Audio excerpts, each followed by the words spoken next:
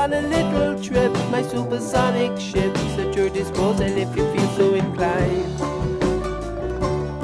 Well, alright. We're gonna travel faster than light, so drop your overcoat tight, and we'll go anywhere you want to decide.